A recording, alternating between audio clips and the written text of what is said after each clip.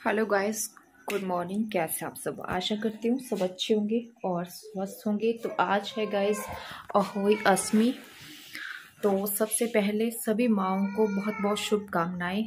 जिन भी लेडीज़ ने आज अपने बच्चों की सुख समृद्धि, लंबी आयु के लिए फास्ट रखा है, उनको बहुत बहुत बधाइयाँ हो। किन किन लेडीज़ ने फास्ट रखा है अपने बच्चों के लिए, अहोई अष्टमी का कमेंट सेक्शन में ज़रूर बताइएगा। वैसे इंडिया में हर माता जो है अपने बच्चों के लिए फास्ट ज़रूर रखती है। तो मैं नहा धोकर बिल्कुल तैयार हो चुकी हूँ। मैंने आज हेयर वॉश किए हैं, बाल धोए हैं, ऐसे तैयार हो चुकी हूँ। अभी मैं चक्रियाँ जो है मैंने भिगो कर रखी थी पानी में, वो मैं तैयार कर लेती हूँ और ये रहा चंदू हमारा।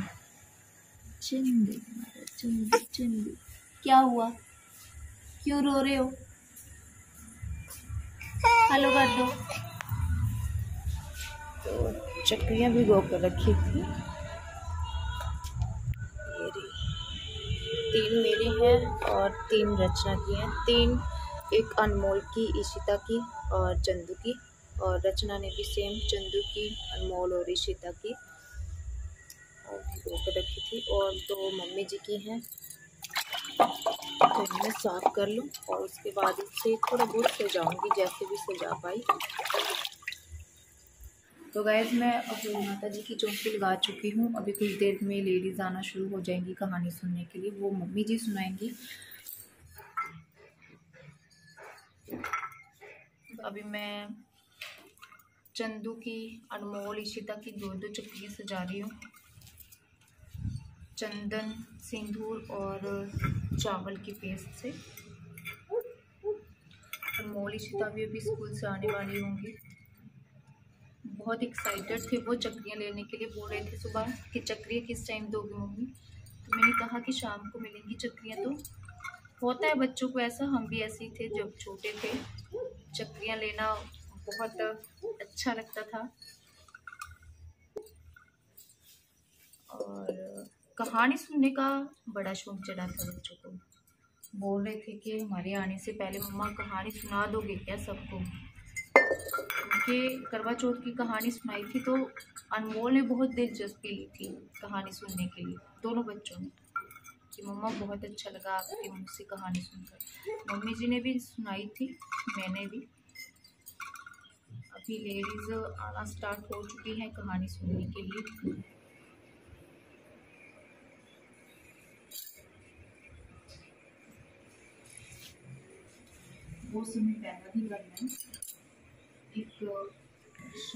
तो गाइज़ अभी पूजा स्टार्ट होगी। शाम की। पौने सात हो चुकी है।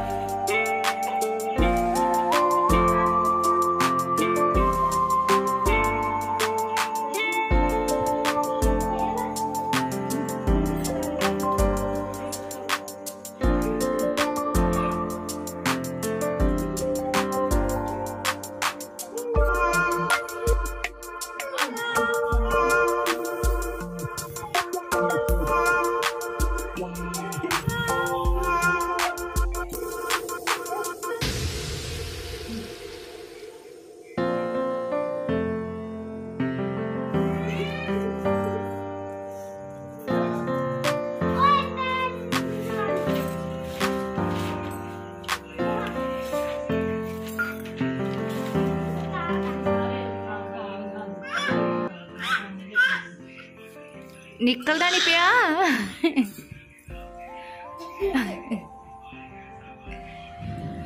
आ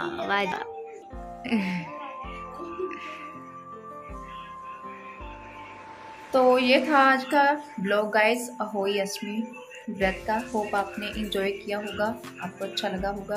तो please do like share comment and subscribe to our YouTube channel till then God bless you bye bye